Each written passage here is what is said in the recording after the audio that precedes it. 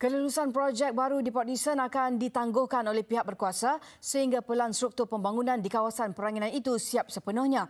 Ahli Parlimen Port Dickson, Datuk Seri Anwar Ibrahim berkata, pelan itu akan memastikan infrastruktur lebih lengkap bagi mengekalkannya sebagai destinasi pelancongan popular. Saya telah nyatakan cara uh, terus terang bahawa pertamanya pemeliharaan pantai itu sangat lemah.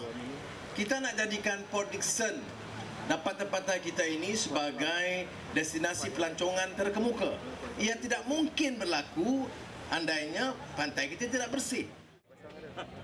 Datuk Seri Anwar berucap merasmikan program Hari Pembersihan Pantai di Pantai Batu Lima di Port Dickson. Menurutnya, satu mesyuarat mengenainya bersama pihak berkuasa tempatan dan kerajaan negeri akan diadakan seawal minggu hadapan. Antara projek mega yang sedang dirancang ialah pembinaan dua buah hotel lima bintang, pusat komersial dan pusat jualan makanan. Beliau juga komited untuk meningkatkan infrastruktur Port Dickson termasuk mengatasi kejadian banjir yang sering melanda beberapa tempat di daerah itu.